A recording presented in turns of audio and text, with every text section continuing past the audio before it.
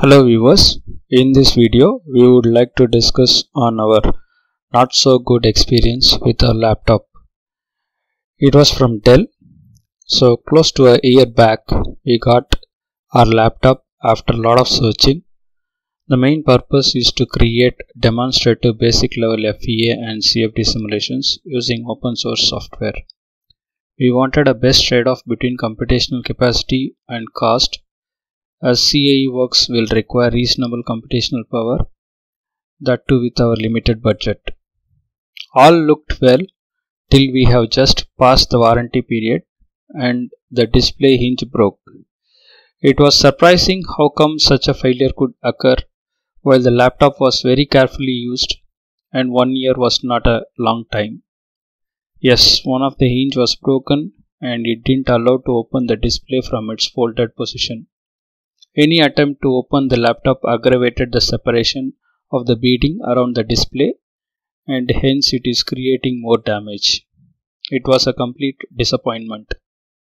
Then out of our curiosity we were looking into the construction of the hinge and particularly the attachment of the display with the base. Something really stuck. Looking at the way the hinge was designed, it had a very good chance that it will break. Just for comparison, let us look into the hinge construction of the laptop which we used previously.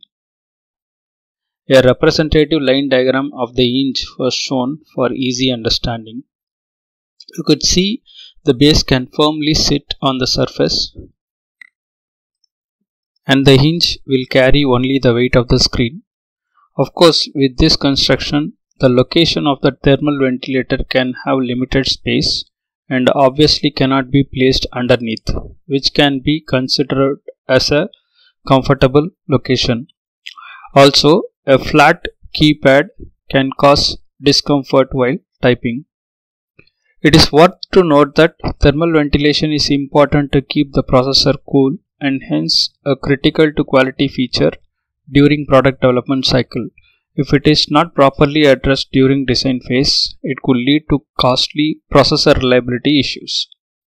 Having said that, let us look into the hinge of the laptop which we bought.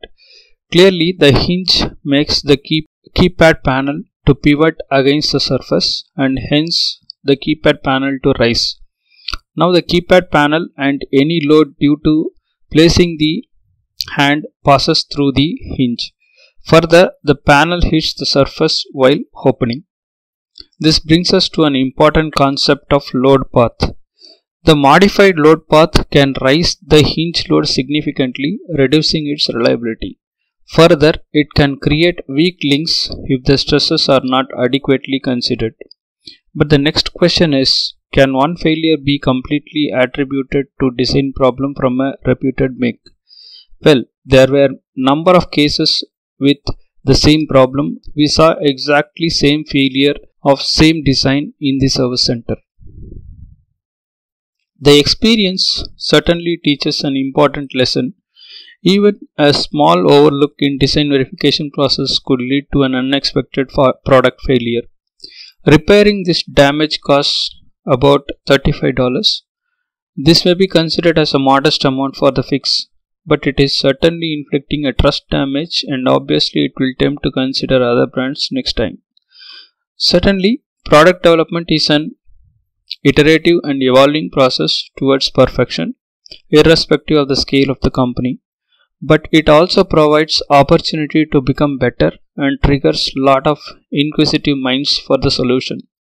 If you wish to provide a design solution for this case, please leave your comment in the comment box. Of course, we will also think of a simple and effective solution with minor modifications.